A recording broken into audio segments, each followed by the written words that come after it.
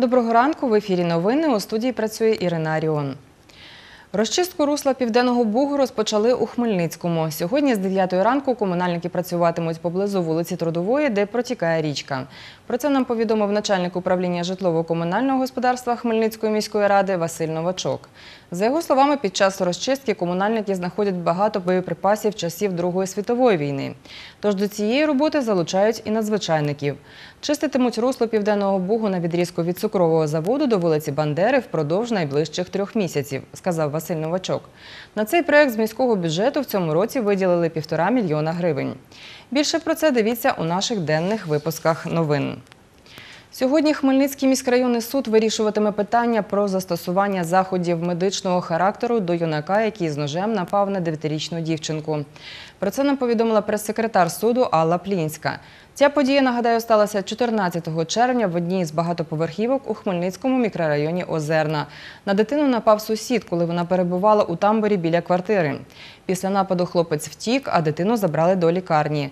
Затримали юнака за добу в Києві. Йому інкримінували замах на вбивство. Судово-медична експертиза встановила, що він на момент нападу не усвідомлював своїх дій. Слідство у цій справі завершилося. Про рішення суду повідомимо у наших наступних випусках новин. На розі вулиць Степана Бандери та Зарічанської у Хмельницькому облаштовують сквер. За проектом на оновленій пішохідній зоні буде авто та велопарковка. За словами начальника управління житлово-комунального господарства Хмельницької міської ради Василя Новачка, ремонтувати цю ділянку підрядник почне у другій половині вересня. Анастасія Збродова далі. Перехрестя вулиць Степана Бандери та Зрічанської у Хмельницькому. Зараз тут копають рівчаки. Це початок підготовчих робіт з облаштування скверу. Згідно з проектом, тут висадять 15 декоративних дерев, розмістять 17 лавок та 8 велопарковок, каже начальник міського управління житлово-комунального господарства Василь Новачок. Проектом передбачено і переформатування перехрестя. Буде змінено формат перехрестя. Е, Перехрестя зараз дуже велике, незорганізоване, і частково воно буде зменшене, будуть переставлені е, світлофори. Антон Стріковський, житель цього мікрорайону, чоловік підтримує облаштування тут пішохідної зони. Я вважаю, що це прекрасна ідея для того, щоб молоде покоління і е, просто всі мешканці цього району і нашого міста змогли відпочивати. І вважаю, що це дуже добра ідея. Потрібно чим більше таких місць. Згідно з проектом, у новому сквері встановлять і пам'ятник Степану Бандері. Мені би хотілося в даному випадку, от в проєкті, побачити більше все ж таки дерев, тому що на весь е, проєкт е, 15 дерев. На мою думку, це надзвичайно мало. Саме через е, наявність там ніби майбутнього пам'ятника проєкт е, не може бути запроєктований дійсно як сквер. Тому що проєктанти повідомили там на мої коментарі, що це не сквер, що це пішохідна зона, саме через те, що там якби має бути пам'ятник.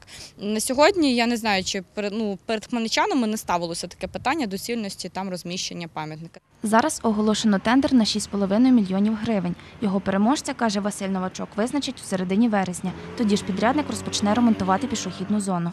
Ми виконуємо там на цій ділянці мощення плиткою, е, створення е, зелених газонів, створення екопарковки, е, міні-скверу з сучасним освітленням, створення самої площі, на якій буде розташований пам'ятник Степану Бандері.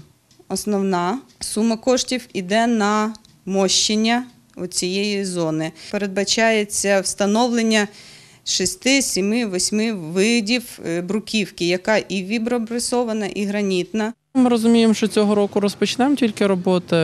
Ну, Наступного року, думаю, до Дня міста він буде завершений. Анастасія Збродва, Олександр Горішевський, Юрій Чорний. Новини Поділля Центр. Наразі це вся інформація, яку підготували кореспонденти нашої служби новин. Більше дивіться у наступному випуску о 13.30.